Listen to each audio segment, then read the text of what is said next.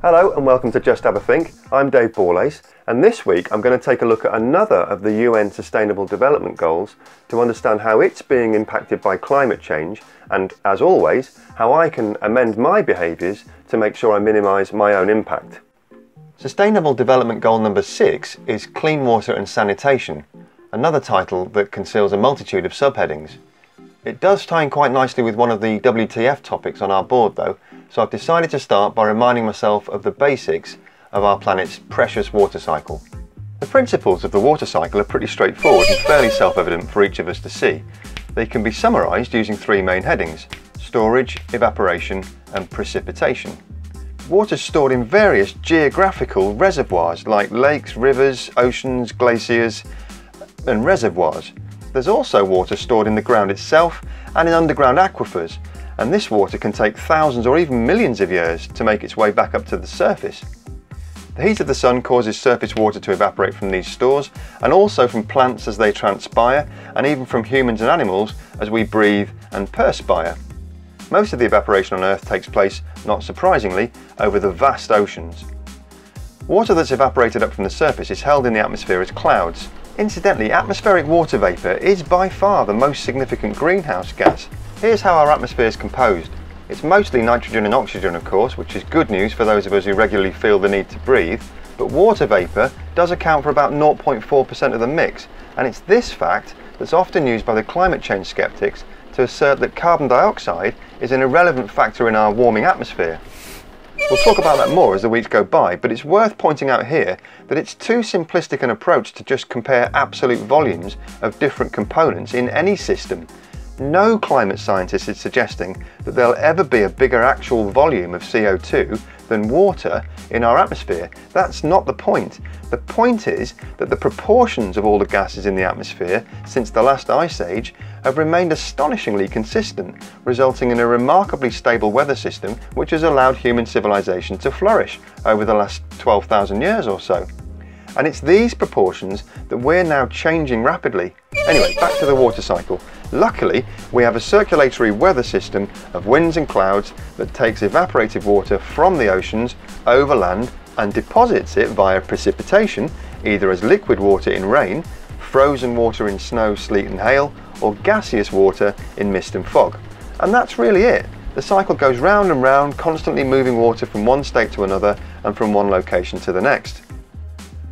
So that got me thinking, why are we always hearing news about water vulnerability and droughts if the planet's got an effective natural system that keeps recycling the resource? So I thought I'd better have a look at that as well.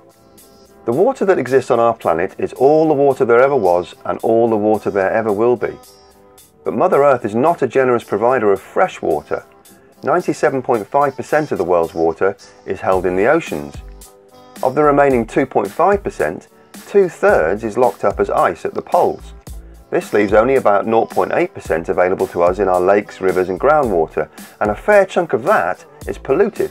In fact, according to the World Health Organization, only 0.007% of total global water is actually fit for human consumption. So the water that was shared between 1.5 billion people 100 years ago in 1918 is the same amount of water that was shared between 3.6 billion people 50 years ago in 1968 and the same amount of water that needs to be shared between 7.6 billion people today and potentially over 10 billion people in the second half of the 21st century. But of course, water's not distributed evenly around the world.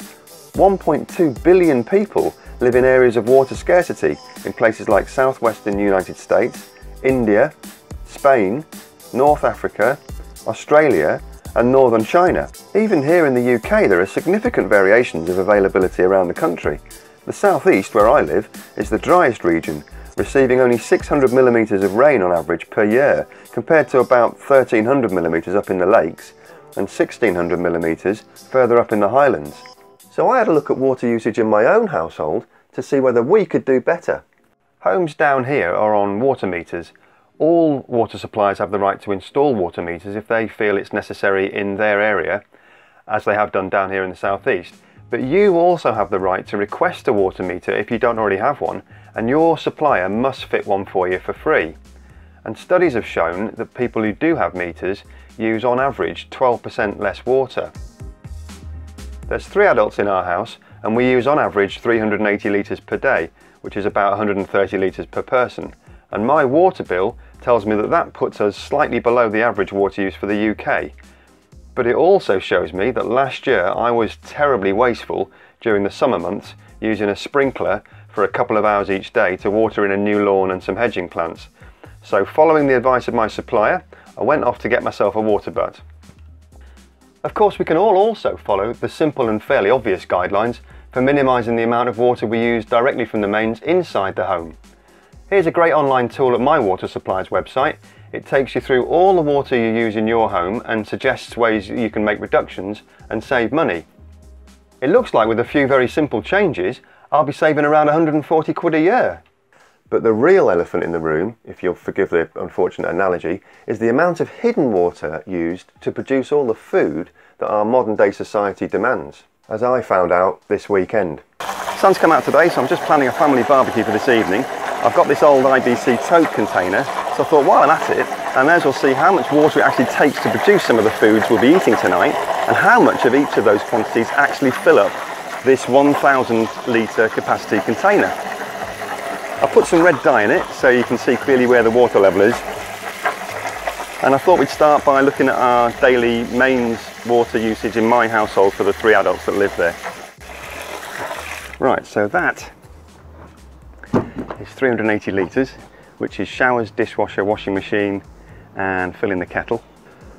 Right, so I've got a kilo of apples here, which takes 822 litres of water to produce, which is nearly a full container. Next I've got one kilogram of pasta and I've had to go out and get another one of those containers. To produce this it takes 1849 litres of water. I'm also doing some rice tonight. Hang on, I'll be right back.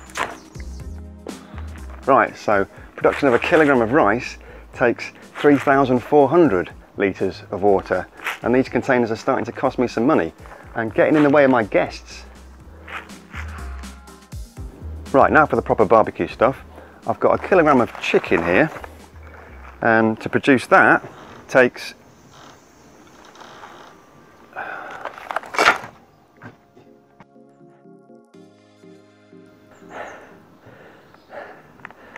kilogram of chicken takes 4,325 litres of water.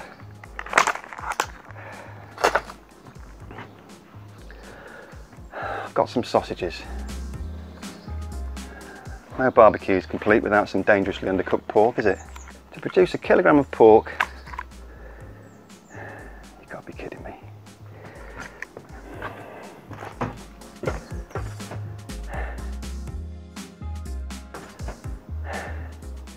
Kilogram of pork, 5,988 litres of water.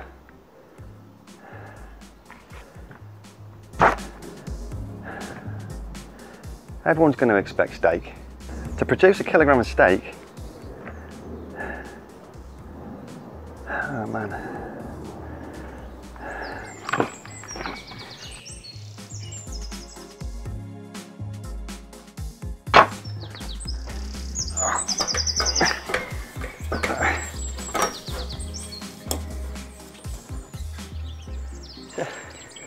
produce a kilogram of beef takes 15,500 litres of water.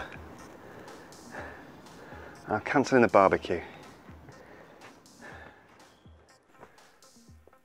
As disposable income has risen around the world, eating habits have changed and people are starting to eat more and more meat because eating meat is perceived as a marker of economic prosperity. In fact, at current rates of increase, meat consumption is expected to double by 2050. But here's the thing, at that rate of consumption increase, by 2030, total demand for water will exceed the available global supply by 40%.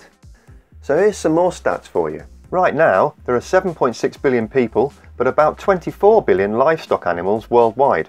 71% of the Earth is covered in oceans, leaving 29% as habitable land. Of that habitable land, 50% is used for agriculture, 37% is forest, 11% is shrub, and that leaves 1% for fresh waterways and urban areas. Of the 50% of agricultural land, 77% is used for livestock and only 23% is used for human consumption crops. But the 77% of land for livestock yields only 17% of the total calorific supply to humans and only 33% of the total protein, whereas the 23% of land used for crops yields 83% of the total calorific supply and 67% of the protein supply. In Programme 1 we looked at a potential world map in 2100 with temperature rises of 4 degrees Celsius. The map suggests that many more areas of the world will be desert areas that are unusable for agriculture and in some cases completely uninhabitable. Which brings us back to climate change. Now here's a conundrum for you. The scientists tell us that climate change will bring us both extreme floods and extreme droughts. But surely these people can't have it both ways? Well, we've already discussed in previous programmes how a warming atmosphere can hold more water, 7% more for every 1 degree Celsius rise in temperature. That means more extreme flooding, which we're already seeing on a weekly basis all over the planet. But more intense rain and snow events don't necessarily lead to a wetter, healthier soil. As the temperatures rise, so the rate of evaporation increases and the soil dries out more quickly. But when the rain or snow does come, it's coming more and more as violent downpours and deluges which do very little to help crops or other plants. Rather than gently soaking into the ground, the water hits rock hard dried up earth and runs off, causing the catastrophic flooding we see in the weekly footage.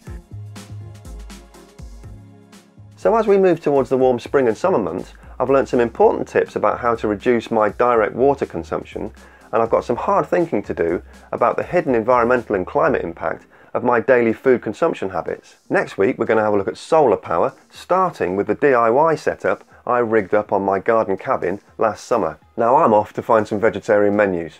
Anyway, that's it for now. A massive thank you to those of you who've already subscribed. If you haven't done so yet, please do hit the red button below. It really does help to raise the profile of the channel and get the word out to as many people as possible as the weeks roll on. As always, thank you very much for watching. Have a good week and remember, to just have a think. See you next week.